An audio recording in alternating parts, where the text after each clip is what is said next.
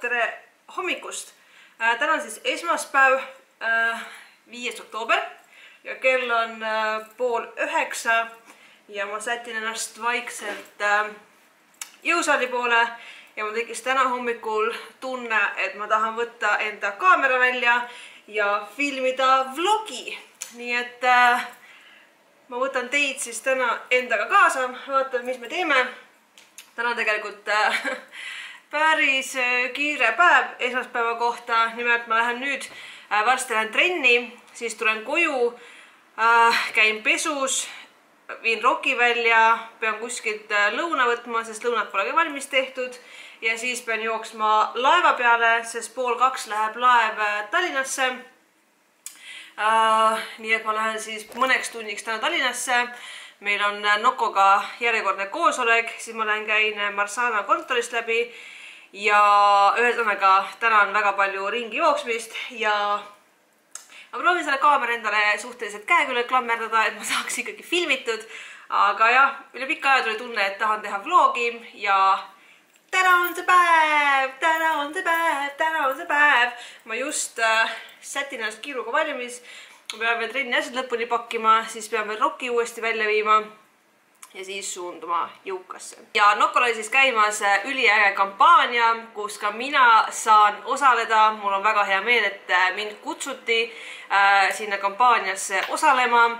nii et seetõttu ma hakkan käima nüüd äh, päris tihti Tallinnas. see on üliäge, mulle hullult meeldib käia Tallinnas alguses mõtlesin, et laevasõit on äkki liiga tüütu, aga samas ma hakkasin mõtlema, et okei okay,, laevasõit on umbes sama pikk, nagu ma sõidaks äh, rongiga Tamperele treeneri juurde.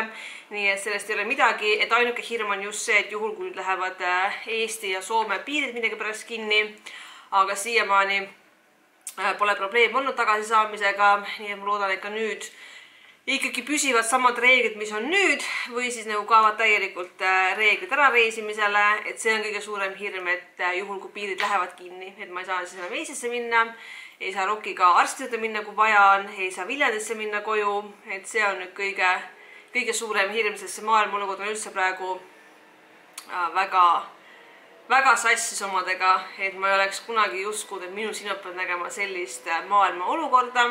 Aga samas ma usun, et äh, igal asjal on ikkagi põhjus ja kõik juhtub ikkagi just äh, põhjusega. Ja ma arvan, et see, mis praegu maailmas toimub, on äh,, siin on kindlasti mingi süü, miks see on hea.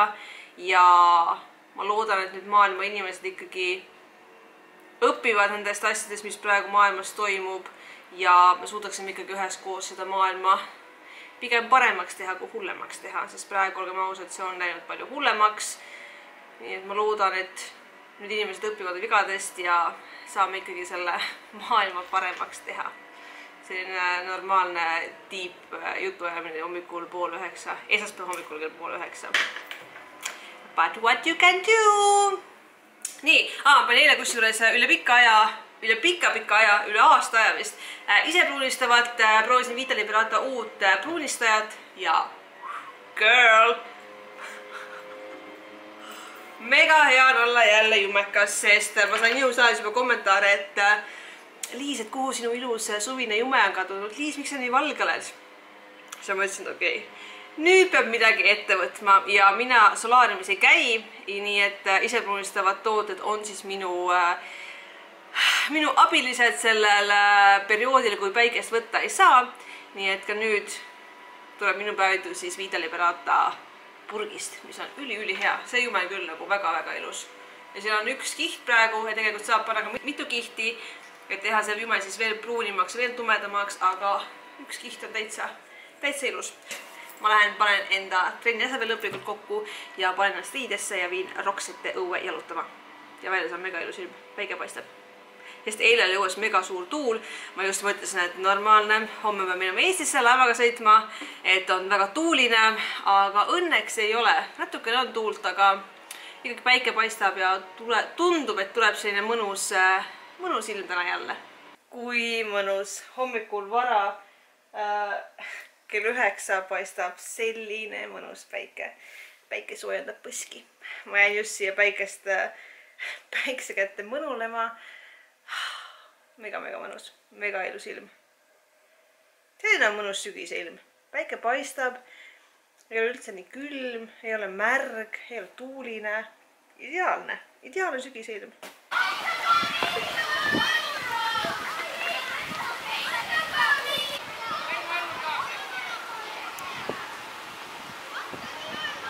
ja nädala esimesele trennile. Vaatan, mis ma tegin veel äkki selga, ma arvan, see on suht lühike trenn. mul täna kiire, nii et äh, täna on vist seljapäev.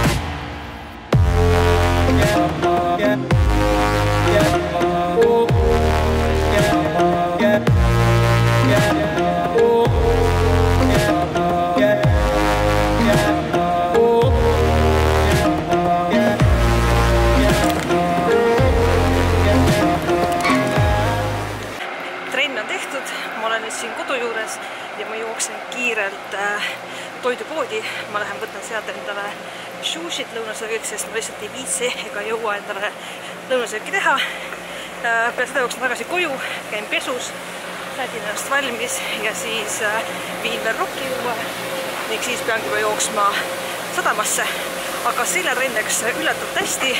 ma sain äh, väga ilusti tehtud, tulnud üldse kiire, nii et äh, igati õnnestunud trenn.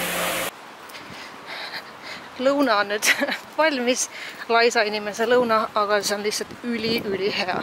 mu lemmik sushi, grillitud lõhega. nii, nüüd on aeg sätida ennast ära. tšau, kullake. tšau, musimops. tšau, musimops. Roki on siin all aa, te näete ta kõrvu äh, nüüd on aeg siis sättida ennast täna teist korda valmis. vahepeal pesin äh, enda selle kerge meigi maha ja nüüd äh, külan endale uue meigli, sest äh, ma lähen ikkagi ju Tallinnasse. Ja tegelikult mulle hullult meeldib viimasel ajal meikida just siis, kui ma tegelikult meigin ennast nii harva, et äh, kuidagi äge on äge ennast meikida siis, kui on võimalus meikida. aga ma pole kunagi selline, kes teeks mingi väga-väga hullult äh, tumeda meigi endale. Lihtsalt selline mõnus äh, tagasihoidlik meik. Ja ma näitan kiire, tegelikult mul on suht kiire äh,, ma väga ei jõua meikidest midagi rääkida, aga näitan teile praeguse hetke lemmikud kombot, see on siis Vita Liberata Beauty Blur ja selle sega on äh, Clarence'i jumestuskreemiga ja see on lihtsalt äh, ülihea kombo, sest see on praegu mul natukene liiga tume ja see on liiga hele, nii et äh, tada, magic, need kaks kokku on lihtsalt üli-ülihea kombo. aga nüüd kiirelt teen endale meigi, meigi, meigi, meigi valmis, mul on siin jälle mingeid äh, sõbrakesed tekkinud.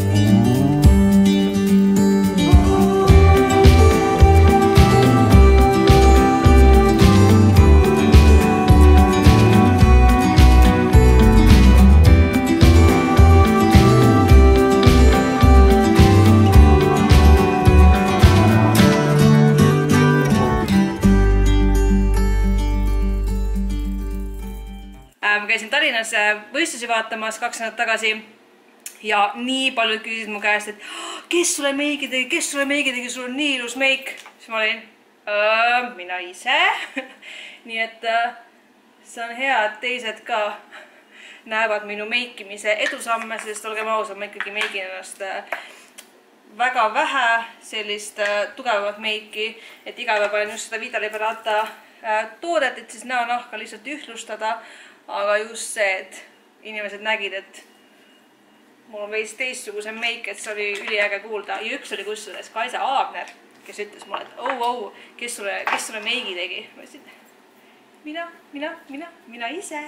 ja ma olen nüüd omadega valmis saanud, kell on kohe varsti kaksteist, kümne pärast kaksteist, mis tähendab seda, et äh, varsti ära mošuši, siis ma pakin veel viimased asjad kokku, ma panin veel ühe kaamera aku laadima. Ja siis on vaja noormees välja viia oh,. ma pean Noko jaoks endale kõrre kaasa võtma, sest ma joon tavaliselt alati peale lõunasööki Noko. see on minu magustoit nii et äh, mul on selline unicorni kõrs, millega ma siis alati nokosid joon. tere! tere, noormees! tere, noormees, tule siia! tule siia! Tere! tere, kullake! tere, minu kullake! tere! emme poiss sain lõpuks ennast valmis, mul tuli täiega mingi riiete kriis, sest ma ei jõudnud mitte midagi, mida selga panna, aga nüüd ma ei tea enam-vähem kampsun, teksad ja seekord tossud ja lehesaabastega. ja kell on äh, nii palju, et ma pean hakkama liikuma. ega siin pikka pidu ei olegi, kott kaasa, räpakas kaasa ja rokile maiustus ja minek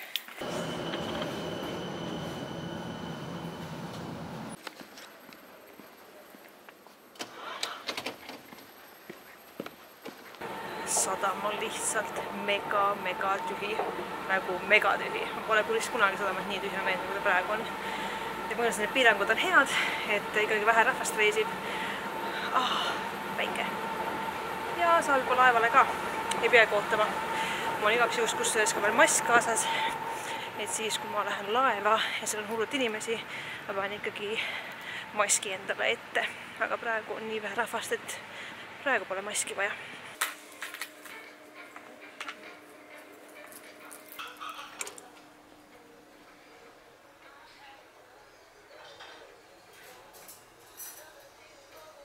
sain just äh,, appi kui pime siin on aga ma sain just äh, laevast välja, okei okay,, mul on päikse kätes, näete ka, sain just laevast välja ja nüüd ma reaalselt äh, jooksen vanalinna poole.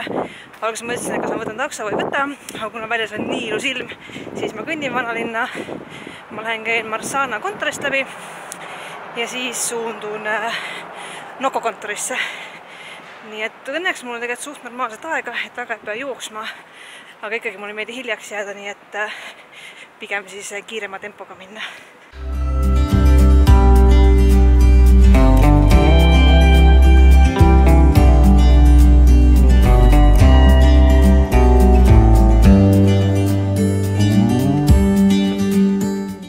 Marsana kontoris on nüüd käidud ja nüüd ma lähen lippan kiirelt äh, Solarisse.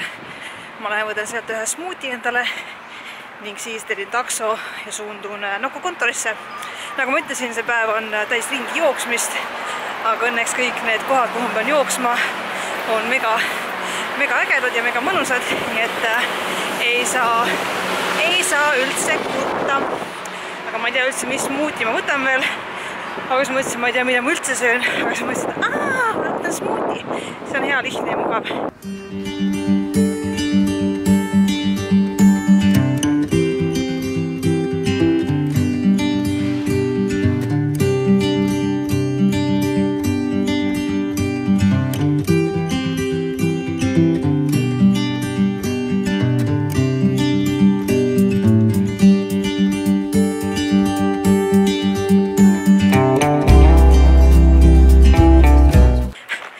Olengi omadega jõudnud sadamasse, sadama juurde, käisin veel Rimis, ostsin endale oh, hapukoort kaasa ning ka mamma pannkooke õhtusöögiks, sest ma pole õhtusööki ka veel söönud, nii et äh, saan siis laevas neid pannkooke õhtusöögiks süüa. Aga kohtumine läks mega-mega hästi. mega palju nalja sai ja mega üldse päris äge punt on meil äh, koos selle väljakutse jaoks. nii ma ootangi põnevusega, et hakata äh, koos trenni tegema ja üldse näha, kuidas ma saan siis äh, teist inimest aidata ja aidata ka enda eesmärke saavutada. nii et sellest tuleb kindlasti väga-väga ägedad kaks kuud. aga seal on, sadam paistab ja taevas on mega-mega ilus praegu. ma jälle tegelikult suht kiirustasin, aga tegelikult polegi üldse nii kiire, nagu ma arvasin, sest kell on alles nelikümmend ja laeva vist saab alles kümne minuti pärast. aga parem olla varem kohal, kui laevale hiljaks jääda. jõudsin just laeva ja ma hakkan sööma enda gurmee õhtusööki, milleks on siis äh, fit puding ja nagu ma ütlesin, siis äh, mamma pannkoogid ja need on äh, kõrvitsamaitselised, need on lihtsalt üli-ülihead. nii et ma hakkan nüüd nagu panema musta slaagi püsti ja hakkan enda õhtusööki sööma. aga mul on kõht lihtsalt mega-mega tühi ja siit laevast midagi nagu väga süüa ei taha. nii et ma ostsin poest endale pannkooke ja fit pudingut, et see on siis täna minu, äh, minu õhtusöök. ma ei tea, kas kõht saab täis või ei saa, aga muud varianti lihtsalt ei ole. tegelikult mul on üks proteiinibatoon ka kotis igaks juhuks, aga seda nagu väga õhtusöögiks süüa ei taha.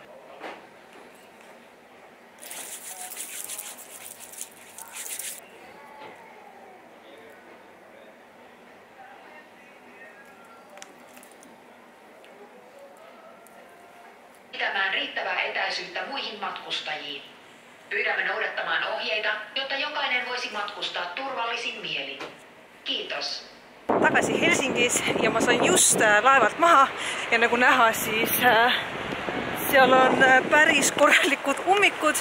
Kõigile neile, kes tulid siis autoga Soome, sest siin kon- kontrollitakse Soomes igat autot, igat inimest.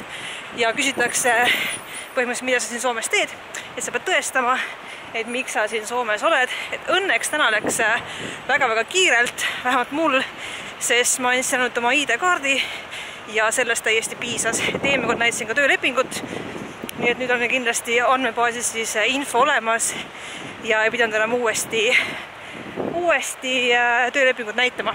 nii et see läks küll väga kiirelt ja väga valutult, aga tunnen neile kaasa, kes siin äh, järjekorras passivad. aga oli väga tore ja väga chill päev, nii et selliseid päevi paluks rohkem, aitäh! ma tean, tegelikult neid tuleb ka, sest ma hakkan iga nädal käima vähemalt ühe korra Tallinnas. nii et selliseid päevatrippe tuleb nüüd äh, lähiajal ikkagi päris, päris palju ja ma olen nüüd omadega jõudnud koju, nagu näha, Armo on Roksi kaisus ja ma lähen tegelikult nüüd Roksiga välja, siis äh, pesen näo puhtaks ja tõmbage sellega, sellele videole joone alla. loodan, see video meeldis sulle. ma loodan, et oli hea näha jälle üle pika aja mind Youtube'i maailmas. Jei! ja ära unusta kindlasti ka subscribe minu Youtube'i kanalit ja kui sul on videoideid, mõtteid, siis äh, kommentaaridesse. aga ei miskit muud, kui näeme varsti ja head ööd. tšau!